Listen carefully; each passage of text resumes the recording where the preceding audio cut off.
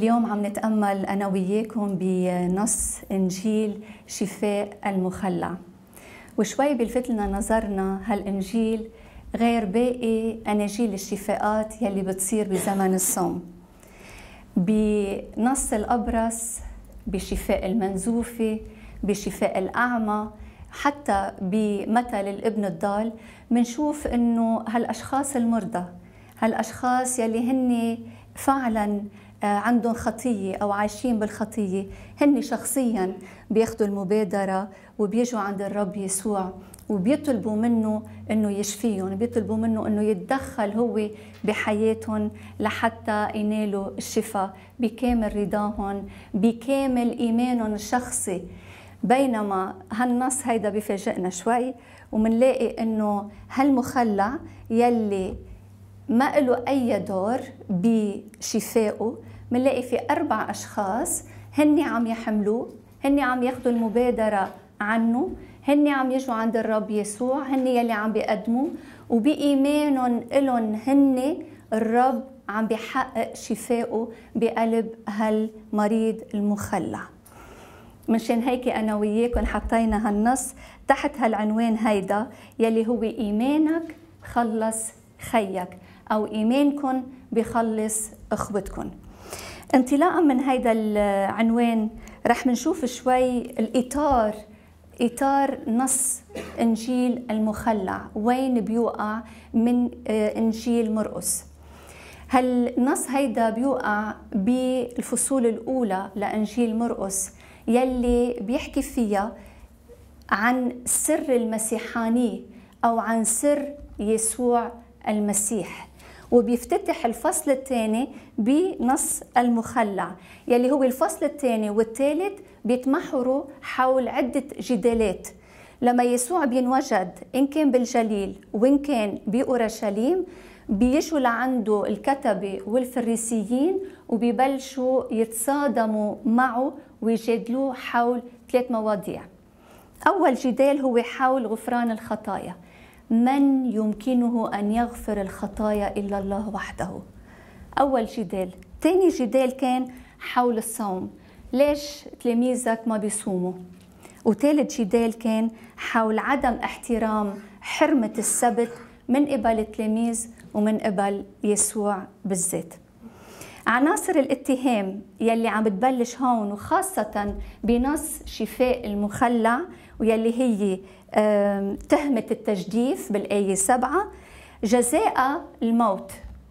كل حدا يجدف يرجم ويموت لأنه هيدي خطية بيستحق أنه يموت من أجلها. رح نشوف هالتهمة الأولى يلي بتبلش ببداية إنجيل مرقس رح بتكفي كل خلال الإنجيل وبالنهاية بينتهي الإنجيل بهالتهمة بالذات يلي بيلقوها على يسوع وبيموت من أجل هيدي التهمة. بيصلبوه وبيموتوه على الصليب بسبب هالتهمة تهمة التجديف. هيدا شوي بمختصر إذا بدنا نحط هالنص بمكانته بقلب إنجيل مرقس بمرحلة أولى مثل العادة وقت بنعمل ليكسيو ديفينا أو القراءة الربية قلنا بالعادة نحن بنقرأ النص ومنشوفه هو شو بيحكي النص عن ذاته. إذا كان مثل الليلة هو نص شفاء آه، مريض أو مثل أو أي نص أدبي تاني بنشوف النص مثل ما هو. المكان الزمان الأشخاص الحدث وشو بيخبرني هالنص عن الرب يسوع؟ شو بيكشف لي عن محبته عن رحمته وخاصة تجاه الإنسان الضعيف والخاطئ والمريض واليتيم. بمرحلة تانية بنرجع بننتقل لنتأمل حياتنا على ضوء هالنص الإنجيلي. وإلا بنكون عم نقرأ قصة وعم نتعرف بس على كتاب تاريخ نحن هون بسهراتنا الإنجيلية وبشكل عام كل مرة بنحمل الإنجيل وبنتأمل فيه هو لنتأمل حياتنا على ضوء هالإنجيل. لشوف ويني أنا اليوم بالمكان والزمان والجماعة اللي أنا موجود فيها ويني أنا من هالحدث الخلاصي يلي تم مع المخلع. رح نقرأ النص أنا وياكم وبمرحلة أولى نشوف النص شو بيحكي عن ذاته بمرحلة تانية بنشوف كيف النص بيحكينا لإلنا اليوم وكيف الرب يسوع بده يتكرم علينا ويحكينا لإلنا كل حدا منا. نحن يلي تركنا كل أشغالنا وجينا لهون لحتى الرب يحكي معنا عنده كلمة يقولها لإلنا. فلنسمع ماذا يقول الروح القدس للكنائس وخاصة لهالكنيسة بالذات يلي مجتمعة الليلة هون بعلية مرشربل بقرأ أنا وياكم النص من إنجيل مرقس الفصل 2 من الآية الأولى للآية 12 وعاد يسوع بعد بضعة أيام إلى كفرناحوم فسمع الناس أنه في البيت. فاجتمع منهم عدد كثير ولم يبق موضع خاليا حتى عند الباب فألقى إليهم كلمة الله فأتوه بمقعد يحمله أربعة رجال فلم يستطيعوا الوصول به إليه لكثرة الزحام فنبشوا عن السقف فوق المكان الذي هو فيه ونقبوه. ثم دلوا الفراش الذي كان عليه المقعد. فلما رأى يسوع إيمانهم قال للمقعد يا بني غفرت لك خطاياك. وكان بين الحاضرين هناك بعض الكتبه فقالوا في قلوبهم ما بال هذا الرجل يتكلم بذلك؟ إنه ليجدف فمن يقدر أن يغفر الخطايا إلا الله وحده؟ فعلم يسوع عندئذ في سره أنهم يقولون ذلك في أنفسهم فسألهم لماذا تقولون هذا في قلوبكم؟ فأيما أيسر أن يقال للمقعد غفرت لك خطاياك؟ أم أن يقال قم فاحمل فراشك وامشي. فلكي تعلموا أن ابن الإنسان له سلطان يغفر به الخطايا في الأرض ثم قال للمقعد أقول لك قم فاحمل فراشك واذهب إلى بيتك. فقام فحمل فراشه لوقته وخرج بمرأ من جميع الناس. حتى دهشوا جميعا ومجدوا الله وقالوا ما رأينا مثل هذا قط. كلام الرب يسوع.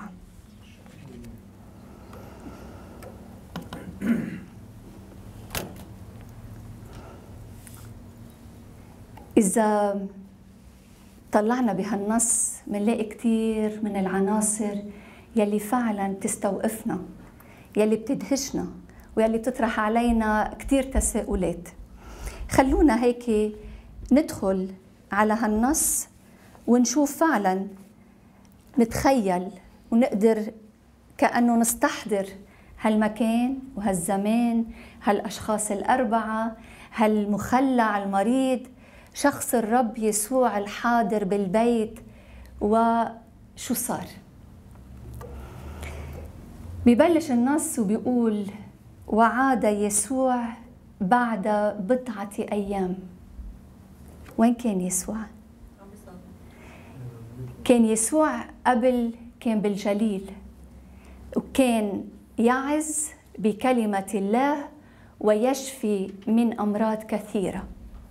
وآخر شفاء حققه كان شفاء الأبرص قبل ما يوصل لشفاء المخلع. من بعد ما شفي الأبرص والأبرص ما قدر يخبي هالسر الخلاصي يلي عاشوا مع إنه يسوع قال له لا تخبر أحد روح على بيتك وما تخبر حدا. بيقلنا الإنجيل فذهب يذيع الخبر في كل مكان. بسبب إذاعته إجوا كل شي في عالم لعند الرب يسوع يطلبوا الشفاء. مشان هيك الإنجيل مرقس بيقلنا كمان مرة جديدة من بعد شفاء آه الأبرص يسوع ذهب إلى البرية يختلي يختلي. مشان هيك وعاد يسوع بعد بضعة أيام إذا بدكم من الخلوة الروحية مع بيه السماوي. وكأنه الرب ما بين الشفاء والشفاء بحاجة يرجع يستقي من بيه السماوي كل نعمة موجودة بين أحضان الآب لحتى يتمم عمله ومشيئته الخلاصية. عاد إلى كفرنحوم كان سبق وإجا على كفرنحوم ولكنه عاد إلى كفرنحوم كلنا بنعرف كفر نحوم معناتها ضيعة أو قرية النياح أو الراحة الحقيقية. طبيعي أن تكون كفرنحوم قرية الراحة الحقيقية. لأنه وين بينوجد يسوع المسيح هونيك فعلا الراحة الحقيقية راحة النفس وخاصة نفس الإنسان المريضة والمتألمة. فسمع الناس أنه في البيت. مرة جديدة العالم عم تسمع عن يسوع عم تسمع عن كلامه عم تسمع عن الشفاءات يلي عم بيحققها. فإجت على البيت. ما بيقلنا بيت مين؟ أنه في البيت. ليش مرقس مصر يقلنا إجا يسوع المسيح على البيت؟ لهدفين ويمكن لهدف واحد لاهوتي بس بالمبدأ هيدا البيت هو بيت بطرس. يلي كان يسوع من فترة لفترة لما يجي على كفرنحوم يعتبره بيته أو بيت حماة بطرس يلي تمم فيه شفاء حماته. فهالبيت كان بمثابة الكنيسة بمثابة بيت الله يلي يسوع موجود فيه وبقلب هالبيت يسوع عم يعلن الكلمة وعم بيتمم هالشفاءات. فاجتمع منهم عدد كبير جدا.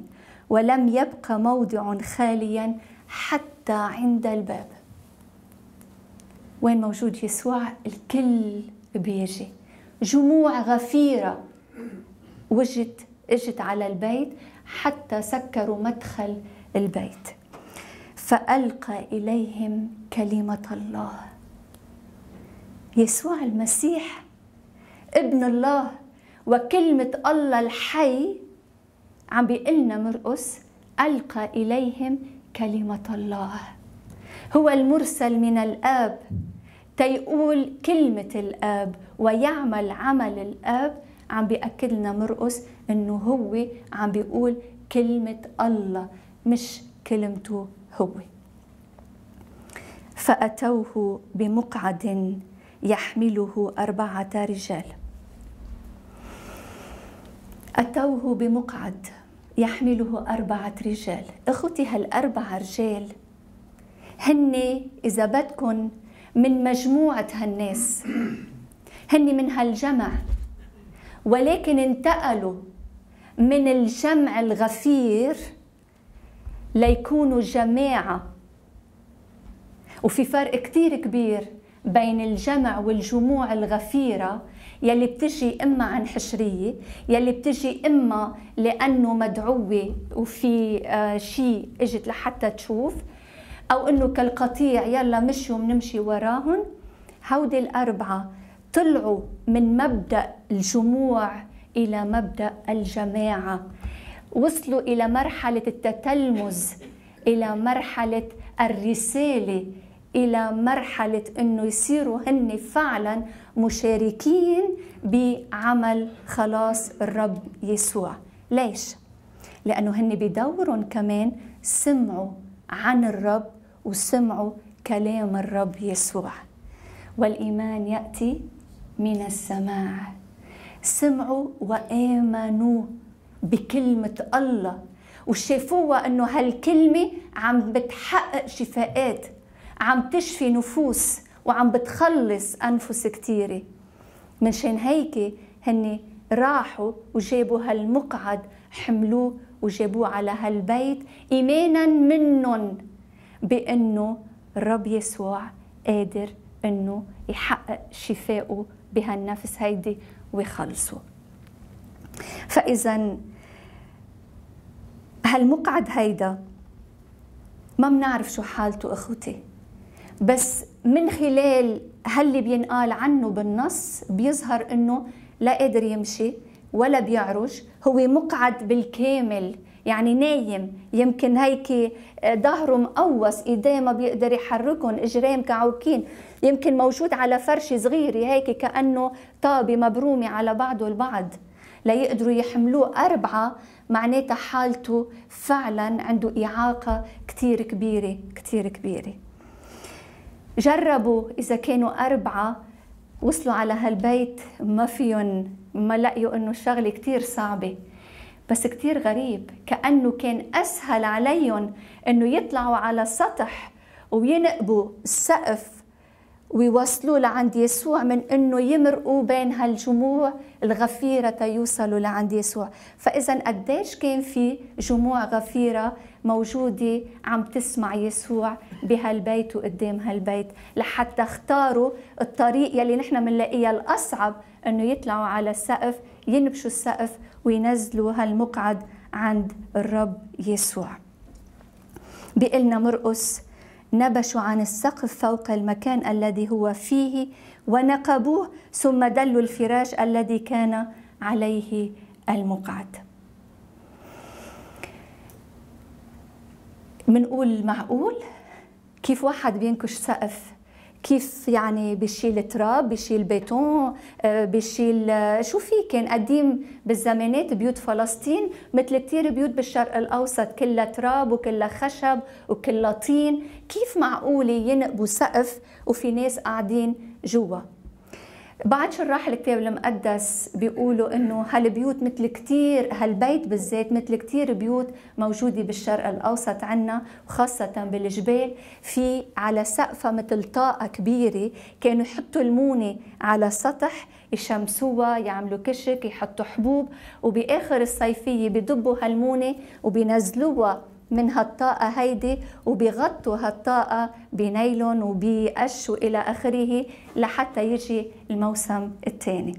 فأكيد هالأربع رجال استعملوا هالطاقة طاقة البيت لحتى دندلوا من خلالها المقعد ليوصل قدام يسوع. فلما رأى يسوع إيمانهم أخوتي يسوع إله حي ومحي عنده عيون بتشوف. بالعهد القديم بيقول أشعيا إنه الله يرى ويسمع وبينزل عند الشعب وبيخلصه. يسوع نفس الشيء. يسوع شاف الألم وعرف بحالة هالإنسان. شاف إيمانهم لإلهم هن.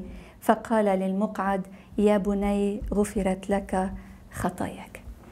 وهون بحب أتوقف أنا وياكم شوي لأول مرة بنشوف يسوع مدهوش. إيمان هالأربعة أدهش يسوع. لما رأى إيمانهم قال للمقعد مغفورة لك خطاياك. أذهلوا إيمان هالاربع رجال أدهشوا إيمانهم.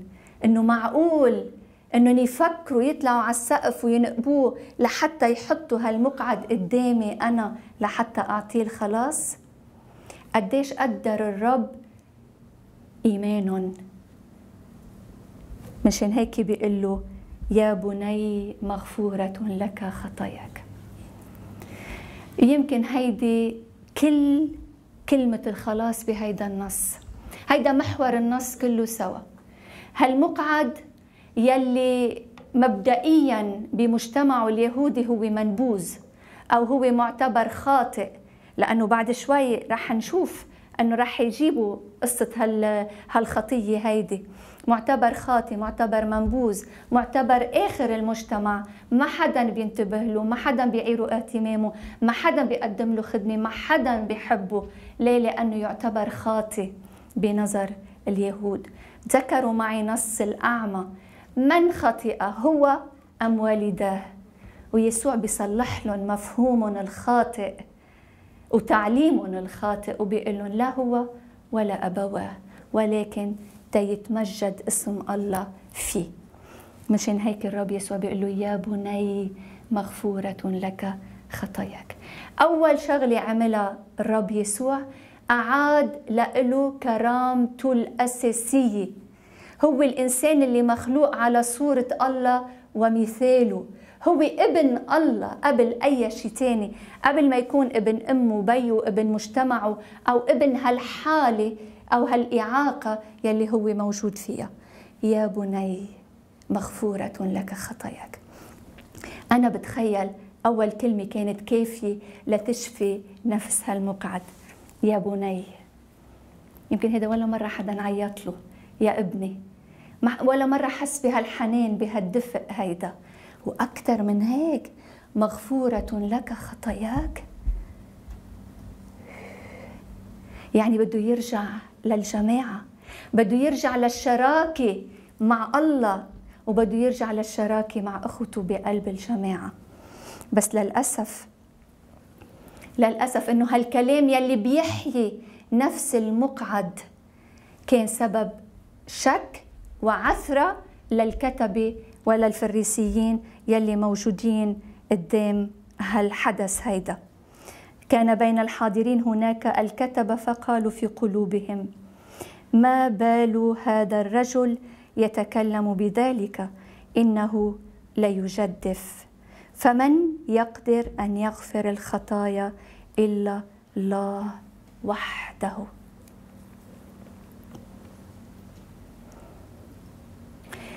الرب يسوع أدهشوا إيمان هالإخوة الأربعة العامل بالمحبة. هن كمان كانوا صامتين هن ما حكيوا ولكن عملهم عمل المحبة إيمانهم العامل بالمحبة أدهش يسوع وعطاه الفرح. إجا مين هلأ يحط له عصي بالدواليب؟ إجا مين يحط يكون حجر عسرة بطريق هالخلاص وهالشفاء هيدا؟ فمن يقدر أن يغفر الخطايا إلا الله وحده؟ مقابيل إيمان هالرجال الأربعة بشخص يسوع على أنه هو المسيح المخلص والفادي عم يلتقى ناس يشككوا بشخص المسيح. ومين معتبر حاله هيدا؟ مين معتبر حاله ابن الله؟ منشان هيك اعتراض على هالكلام بالذات لأنه اعتبروه عم بيجدف. ونسيوا هؤلاء الكتبة أو الأشعيا النبي يلي بيقول سيأتي وقت يغفر الله لشعبه كل خطيئة ويشفي كل مرض. أشعيا 33 24 تقريبا ألف سنة قبل المسيح سيأتي وقت يغفر الله لشعبه كل خطيئة. ويشفي كل مرض. ما هني كتبة؟ هن يلي بيقروا وبيكتبوا التوراة والشريعة. هن أهل الكتاب. هن اللي بيعرفوا مضمون هالكلمة الإلهية. ما ما وحيت لهم ما كان قلبهم عم يشتعل لما كانوا عم بيشوفوا الرب عم بيحقق أعمال خلاصية أو عم يسمعوا كلمته؟ ما دريت لهم فعلم يسوع عندئذ في سره أنهم يقولون ذلك في أنفسهم فسألهم. إخوتي مزمور سبعة عشرة بيقول إن الرب هو فاحص القلوب والكلى. حتى لو ما حكيوا هني كمان كانوا صامتين ولكن صمت مشكك صمت مضمر للشر صمت آه، في دين في دينونة. في دينونه وحكم على الرب يسوع. منه صمت إيماني منه صمت عمل محبة صمت مشكك وبدين عمل وكلمة الرب يسوع. لماذا تقولون هذا في قلوبكم؟ الرب عم يكشف عم يكشف خفايا الضمائر. عم يكشف خفايا القلوب عم يكشف النوايا. ليش؟ لحتى يزلن أو لحتى يحط لهم على عينهم أكيد لا. الرب من خلال هالكلام بده يكشف عن السر المسيحاني يلي هو عايشه من خلال ثلاث علامات. إنه هو ذاته يسوع المسيح الإنسان هو المسيح المخلص ابن الله الآتي ليفدي العالم بأسره. رح يعطيهم ثلاث علامات. أول علامة إنه هو بيعرف قلب الإنسان وفاحص القلوب والكلى. ما حدا ممكن وبيقدر يعرف شو فيه بقلب الإنسان إلا خالق الإنسان. تاني علامة مغفرة الخطايا. مشان هيك بيطلع بالمقعد وبيقول لهم أيما أيسر؟ أن يقال للمقعد غفرت لك خطاياك؟ أم أن يقال قم واحمل فراشك وامشي؟ إذا أنتم تشككتوا من إني أنا عم أقول له مغفورة لك خطاياك وهيدا يلي أنا بهمني أنا الإله جيت لأعطي الخلاص الروحي ومغفرة الخطايا للإنسان. هيدا اللي هممني أنا. إذا أنتم بهمكم الشفاء الجسدي فأيهما أيسر؟ أي أسهل عليكم؟ انكم تشوفوا أعجوبة وشفاء جسدي ملموس حسي أسهل انكم تصدقوا وتآمنوا من انكم تشوفوا شفاء نفسي روحي خفي. فإذا هيدي العلامة الثانية يلي الرب بيعطيها وهي مغفرة الخطايا على إنه هو المسيح والعلامة الثالثة هي الشفاء الجسدي يلي بيقول بيطلع بالمقعد وبيقول له قم أحمل فراشك وامشي. فكانت هيدي العلامة الثالثة يلي الرب يسوع عم يعطيها لحتى إذا بدكم يكشف سر مسيحانيته يلي فعلا عم بيجرب الرب إنه يكشفه إن كان بالكلام وإن كان بالشفاءات يلي عم بيحققها. وكان الرب خايف. مرقس أصلا كل إنجيل مرقس بيحكي عن هالسر المسيحاني. قبل لما شفي الأبرص قال له ما تخبر حدا ليش خايف الرب إنه عم يعمل شيء آه، مش منيح أو ما لازم حدا يعرف فيه؟ بالعكس عم يعطي خلاص عم يعطي الشفاء ولكن كان خايف الرب إنه يفهموه على إنه ساحر أو طبيب بس جسدي. كان خايف إنه يعتبروه مخلص بشري منه اله كان كل مرة هن بيقولوا له ابن الله هو كان يقول لهم ابن الإنسان عليه أن يتألم. كان يجاوبهم دغري على ابن الإنسان أن يتألم. لحتى ما يفتكروا إنه هو بس مخلص بشري مدني إلى آخره.